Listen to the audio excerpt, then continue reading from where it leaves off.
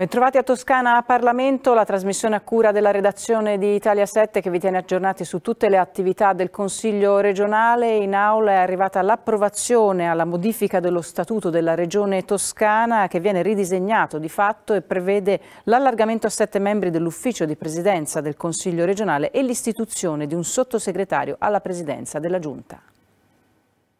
La proposta di legge di modifica dello Statuto della Regione Toscana e l'emendamento del Presidente della Giunta Eugenio Giani si è aperta senza l'illustrazione dell'atto. L'assessore Stefano Ciuoffo, presente alla seduta, ha scelto di non presentare il testo e il dibattito si è aperto non senza alcune critiche della minoranza che ha chiesto rispetto per il Consiglio o il rinvio della discussione vista l'assenza giustificata del governatore impegnato a Bruxelles. Al termine del lungo dibattito, l'Aula ha approvato l'atto con 30 voti a favore, Partito Democratico, Lega, Fratelli d'Italia Forza Italia, un voto contrario, quello di Italia Viva, e la non partecipazione al voto del Movimento 5 Stelle. Lo Statuto della Regione Toscana viene ridisegnato e prevede l'allargamento a sette membri dell'ufficio di presidenza del Consiglio regionale, fino ad oggi cinque, e l'istituzione di un sottosegretario alla presidenza della Giunta, scelto tra il novero dei consiglieri regionali. Io, io, sono davvero contento, nel senso che eh, mi ero posto un obiettivo. L'obiettivo era larga condivisione perché le regole del gioco non si cambiano solo con la maggioranza e che non ci fossero aumenti di costo della politica. Ecco, abbiamo raggiunto entrambi i, i risultati. È vero, c'è stato qualche problema interno alla, alla, maggioranza, io penso che la proposta del collega Scaramelli non potesse essere accettata, quella del sottosegretario esterno, per un solo motivo, perché provocava un aumento di costi e siccome la strada era un'altra, eh, con fatica abbiamo cercato in queste settimane di arrivare a un punto di sintesi politica la più larga possibile. Questo punto di sintesi è frutto di un, un accordo istituzionale, lo voglio risottolineare, istituzionale tra tutte le forze, quasi tutte le forze politiche, Partito Democratico, Fratelli d'Italia, Lega, Forza, Forza Italia. Il mio compito è di garantire che le regole vengano rispettate e che il Consiglio funzioni nella maniera migliore possibile. Il sottosegretario è una risposta che noi diamo ai cittadini della Toscana e non è chi sarà domani il sottosegretario, a me questo interessa il giusto, a me interessa che ci sia una figura che possa sostenere la Giunta soprattutto sui temi quelli più caldi ora, penso ai temi dei fondi strutturali, penso ai temi del piano nazionale di ripresa e resilienza. Noi abbiamo la necessità di dare risposte ai cittadini e serviva un'organizzazione ancora migliore. Critico il vicepresidente del Consiglio regionale Stefano Scaramelli. La nostra è stata una posizione di contrarietà, l'unica del Consiglio regionale, perché riteniamo inconcepibile il fatto che in 51 anni di storia della Regione Toscana, dopo 15 modifiche dello Statuto, si arrivi per la prima volta nella storia a modificare quella che di fatto è la Costituzione dei cittadini toscani senza un approfondimento, senza un passaggio di commissione, senza dei passaggi che avrebbero potuto consentire un miglioramento di quella riforma, che noi abbiamo contestato dall'inizio,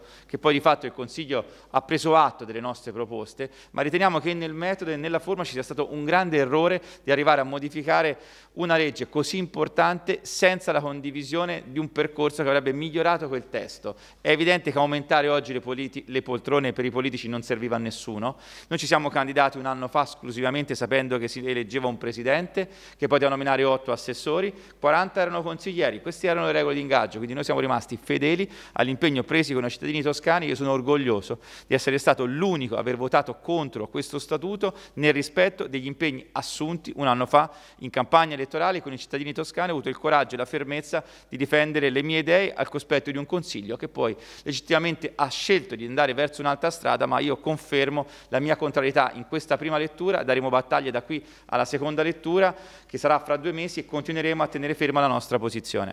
Di discussione surreale parla la capogruppo della Lega Elisa Montemagni. Ma c'è da dire che il testo da come usciva di giunta è stato totalmente stravolto. Noi avevamo detto fin da subito che non avremmo accettato né il non assessore né due sottosegretari esterni perché avrebbe comportato un costo della politica che poi sarebbe gravato sulle spalle dei cittadini. Questo per noi era inaccettabile, quindi l'abbiamo detto da subito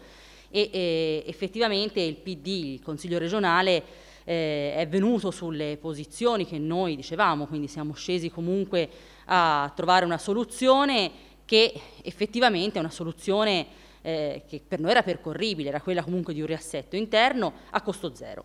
Quindi io credo che eh, si sia potenziato l'ufficio di presidenza, dando poi la possibilità anche all'opposizione di avere una persona in più a vigilare su tutto quello che da lì dentro passa ed è anche questo senza, senza costi aggiuntivi e quindi eh, abbiamo pensato che fosse opportuno riconoscere che il Consiglio ha fatto uno sforzo rispetto alla Giunta. Certo quello che c'è da evidenziare è che in maggioranza non possono dire lo stesso, qualche problema l'hanno avuto, abbiamo visto il Presidente di commissione che poi era quello che doveva fare il non assessore all'inizio della legislatura, andarsene eh, arrabbiato decidendo di non votare, abbiamo visto Italia Viva che si è spaccata e che ha riproposto di nuovo i due sottosegretari esterni, quindi con un costo che sarebbe gravato sulle spalle dei cittadini. Quindi la maggioranza non può star proprio serena, anche perché mi sembra di capire che la Giunta eh, abbia portato un testo di cui Gianni era molto convinto, che infatti non è nemmeno stato illustrato in aula,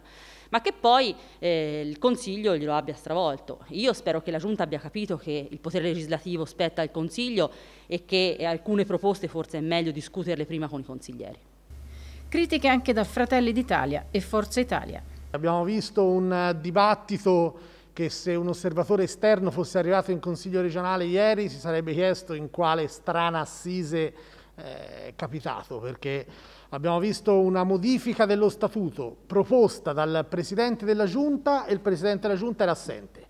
Il Presidente della prima commissione competente per materia non ha votato e l'ha definito sui giornali una, una proposta da affossare.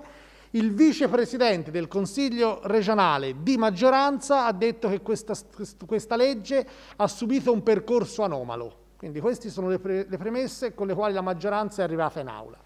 Per quanto mi riguarda, noi come Fratelli d'Italia avevamo soltanto un obiettivo, che le modifiche venissero fatte nell'interesse, primo, del Consiglio regionale, e l'allargamento dell'ufficio di presidenza sicuramente va in questa direzione, cioè eh, tutela maggiormente il Consiglio, due, a costo zero le, le, riforme sono state fatte a costo zero senza gravare un euro sulla, sulla tasca, sulle tasche dei cittadini toscani e questo è l'obiettivo conseguito. Va sottolineato però, perché è doveroso farlo, che se ieri il Consiglio non avesse emendato la proposta del Presidente Gianni, il Presidente Gianni aveva proposto di istituire due poltrone in più a quelle già esistenti a 7.500 euro l'una e credo che in questo periodo storico sia una cosa indegna anche solo averla pensata. Noi abbiamo sempre sostenuto fin dall'inizio, quando ci era stato proposto nove assessori e due sottosegretari esterni, che non era la riforma che serviva alla Regione Toscana semplicemente perché avrebbe aumentato i costi.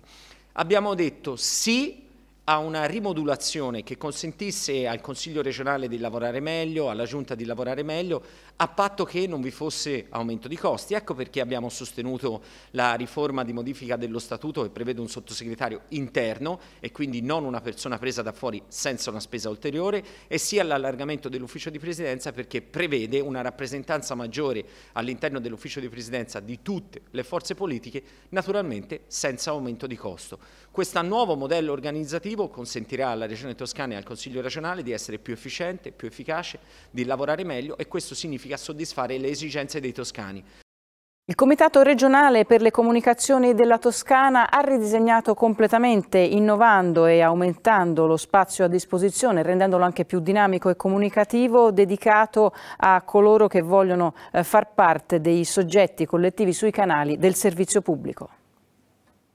Trasformare i programmi dell'accesso in Toscana rendendo lo spazio a disposizione più dinamico e comunicativo. Questo è il progetto realizzato dal Core, come insieme alla RAI regionale e al Dipartimento di Lettere e Filosofia dell'Università degli Studi di Firenze, per il rilancio degli spazi a disposizione di soggetti collettivi sui canali del servizio pubblico. Sono già 13 i video prodotti in questa prima fase dell'accordo di collaborazione. Bene che oggi eh, ci sia un ulteriore passo avanti insieme all'Università di Firenze, insieme alla RAI, eh, dare più spazio per quelle che sono le trasmissioni di accesso ai gruppi di consumatori, alle associazioni, eh, per cercare di mandare messaggi più chiari, migliori ai cittadini della nostra regione. Eh, una democrazia funziona di più quando ognuno di noi è più consapevole di quello che ha di fronte, di quello che può accadere. Quindi ogni qualvolta c'è uno spazio di democrazia in più, io non posso che essere contento e quindi ringrazio ancora il Presidente Brogi per l'ottimo lavoro che sta svolgendo, ringrazio l'Università l'Università di Firenze e la RAI per questa nuova importante opportunità. A spiegare l'iniziativa il presidente del Comitato regionale per le comunicazioni della Toscana, Enzo Brogi. Nel 1975 per la riforma della RAI furono programmate questa esperienza molto bella di affidare a associazioni, sindacati, movimenti pacifisti, religiosi, uno spazio pubblico per poter proporre le loro idee, i loro programmi, i loro progetti. Con passare degli anni questa uh, opportunità si è via via svilita e oggi il programma dell'accesso è uno spazio a disposizione ma estremamente poco qualificante, poco, senza nessun appeal e soprattutto non è visto da nessuno. Allora con la RAI e con l'Università di Firenze abbiamo provato a mettere insieme questo spazio da parte della RAI, ma anche l'esperienza di, di un dipartimento che studia la comunicazione per affidare ai ragazzi un'opportunità per costruire loro i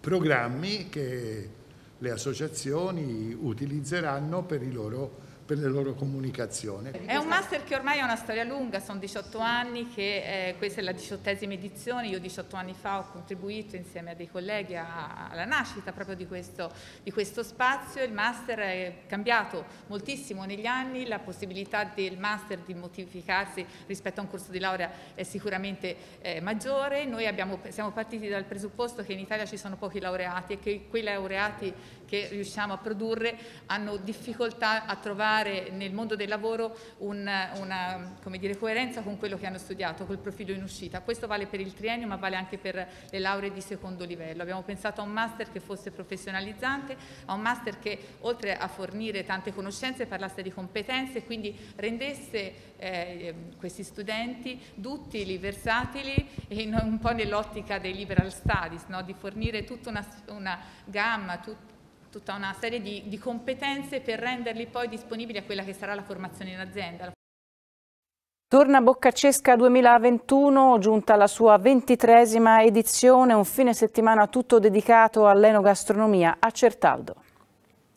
Un fine settimana all'insegna dell'enogastronomia a Certaldo per la ventitresima edizione di Boccacesca 2021, rassegna che celebra il gusto e l'arte del buon vivere, una manifestazione da sempre apprezzata anche per lo spirito con cui si svolge. Il titolo Voglia di vita dà esattamente quello che è il senso del tempo che stiamo vivendo, la voglia di ripartire, la voglia eh, di vivere con speranza dopo un tempo difficile ed è bello poterlo fare anche raccontando un grande, un grande scrittore, eh, narratore che davvero ha segnato non solo la vita di Certaldo ma dell'intera Toscana, dell'intero dell paese. Con alle spalle una storia importante che l'ha fatta diventare una manifestazione di rilievo regionale, Boccacesca mette insieme in un contesto stupendo come quello del borgo di Certaldo la tradizione enogastronomica toscana e non solo ormai di tutto il paese. Una vera occasione per poter vedere la Toscana per quello che è il luogo, la cultura, l'enogastronomia. Tutta la rete dell'imprenditoria e del settore agroalimentare eh, di Certaldo dà prova della sapienza e della passione che tutti gli anni, da anni ormai, mette per eh, commercializzare i propri prodotti. Eh, quindi ci saranno un, un, settore dedicato come tutti gli anni ai produttori di vino, con l'Enoteca eh, sempre nel Borgo Alto, varie bancarelle di produttori e venditori anche fuori regione, con le loro eccellenze sempre dei prodotti enogastronomici. Eh, ci sarà il premio Boccaccesca come un riconoscimento eh, classico ormai eh, per questa festa che insomma, eh, ha, un, ha, un, percorso lungo, una storia lunga, perché la prima edizione è partita addirittura nel 1999, quindi confermare dopo tanti anni, nonostante questi eh, periodi che stiamo vivendo, eh, è, grossa, è, un grosso risultato. Quest'anno gli abbiamo dato un tema, vogliamo ritornare a cuochi, non più chef. Quindi un tema profumi d'autunno e sapori d'autunno. Vediamo che fanno. Ci si fida tanto perché ci sono tutti dei grandi nomi come sempre. Quest'anno per dare risalto e per dare un tocco di nuovo abbiamo fatto questa voglia di Madonna Fiammetta. È un esperimento, noi si spera vada bene perché insomma è meglio che a Certaldo trovare una Madonna Fiammetta che va da 30 a 60 anni, notate bene, perché le diciottenne e le ventenne è facile metterle in campo ma eh, questo è quanto. una vera occasione per poter eh, vedere la Toscana per quello che è, il luogo, la cultura, l'enogastronomia, insomma veramente una grande occasione e un complimenti agli organizzatori e al Comune di Certaldo che in questi anni anche su questa manifestazione ha saputo investire e farla diventare quella che oggi siamo a presentare e che molti eh, di voi potranno andare a, a valutare e a gustare direttamente. È tutto da Toscana Parlamento, l'informazione dal Consiglio regionale torna la prossima settimana.